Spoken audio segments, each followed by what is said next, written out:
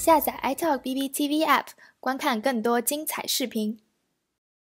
八月十五日晚间，对于美国总统特朗普来说是个难过的时刻。原因并非是竞选进程的不顺利，或是抗疫工作的道远且艰，而是他最亲爱的弟弟罗伯特·特朗普在纽约长老会医院病逝，享年七十一岁。这位小美国现任总统两岁的特朗普，一生致力于商业，也颇有成就。先年在华尔街的金融行业大展身手。后又回归家族企业，主管房地产业务，也就是特朗普家族起家且看家的生意。让特朗普最为难过的是，这位去世的弟弟是其最为亲密的兄弟姐妹。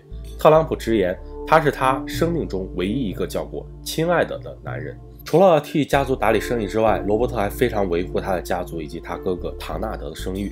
近几个月，特朗普家族另一个成员极为亮眼，那就是一心要写书爆料脏美国总统的玛丽·特朗普。罗伯特曾经为了限制他新书的出版，不惜以特朗普家族的名义申请临时禁止令。当然，最后此事以失败告终，但也足以显示他对哥哥唐纳德的忠心。不过，罗伯特与唐纳德却有着完全不同的性格。他常常以随和待人接物，以安静沉稳著称，这显然与当今总统大相径庭。所以，罗伯特在其家族集团中，亲切地被员工公认为最友好的特朗普。目前截止小编发稿时，关于罗伯特·特朗普的死因依旧是绝密信息，所以世人对此纷纷猜测。目前有一种说法来自于特朗普家族的一位密友，那就是罗伯特在一次跌倒之后出现了脑部出血的症状，随后一直在服用血液稀释类药物。但是，其实现如今更多的猜测，则是因为其不幸感染新冠病毒不治身亡。对于其患新冠肺炎的猜测也并非空穴来风，但是也主要是来自于对罗伯特死因隐瞒的扑朔迷离。如果真如前文所讲死于脑部出血，那并不必要隐瞒。生老病死是人类始终要面对的话题。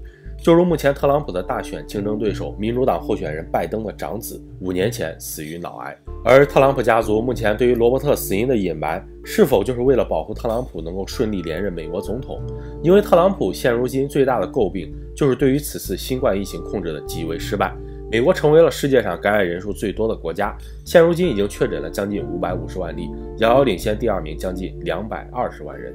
如果他的弟弟也因为新冠而去世，则是对特朗普执政能力最大的否定。这种自己打自己脸的行为，对于两个月后即将到来的大选非常不利。当然，关于罗伯特的死因，目前都是猜测，希望不久后将会做出正式的公告说明。人死不能复生，让我们为这位最友好的特朗普进行深深的哀悼。如果您喜欢本期视频，请关注、点赞并分享，下载 App 解锁更多功能。我们下期再见哦。